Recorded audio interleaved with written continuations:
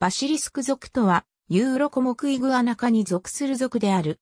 エクアドル、エルサルバドル、グアテマラ、コスタリカ、コロンビア、ニカラグア、パナマ、ベリーズ、ホンジュラス、メキシコに自然分布。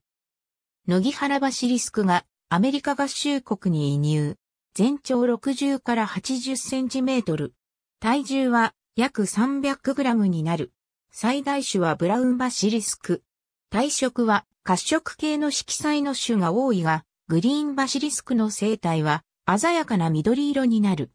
俗名、バスリスカスは空想の怪物バジリスクが由来となっているが、本属の構成種の形態がこのバジリスクを連想させたと思われる。形態のみの連想のため、本属の構成種が毒を持っているというわけではない。死は長く、講師には細長い指を持つ。これは、樹状性という生活に適しているほか、指の間に、ひだがありこれを広げることで後に上げる本属の特徴的な行動である水上走行にも大きな役割を果たしている。生体のオスは頭頂部や背面、尾に、トサカや穂が発達する。水辺の森林に生息し、水上に張り出した木の上にいることが多い。泳ぎや潜水がうまく驚くと水中に飛び込んだり、格子だけで立ち上がり走って逃げる。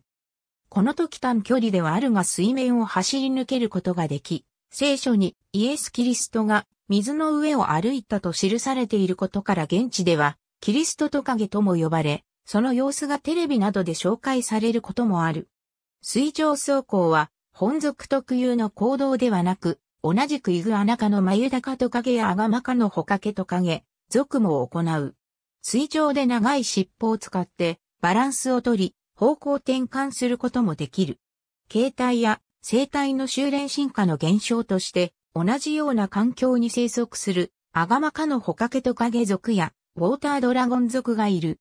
食性は動物食傾向の強い雑食で、昆虫類、節足動物、小型爬虫類、小型の鳥類、小型哺乳類、果実などを食べる。繁殖形態は卵生。ペットとして飼育されることもあり、日本にも輸入されることがある。主に流通するのは、グリーンバシリスクか野木原バシリスクで、残りの2種の流通は少ない。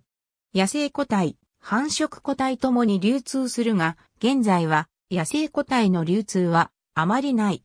驚くと、ケージ内を走り回り、粉炭を潰してしまうため、飼育には広いケージと落ち着いた環境が必要。幼体から飼育すれば人や環境になれることもあるが、場合によってはケージを暗幕で覆う等の対処をして、外部から刺激を受けないようにする。また水辺の高温多湿の環境を好むため全身が浸かることのできる水容器や全体を保温する設備も必要になる。ありがとうございます。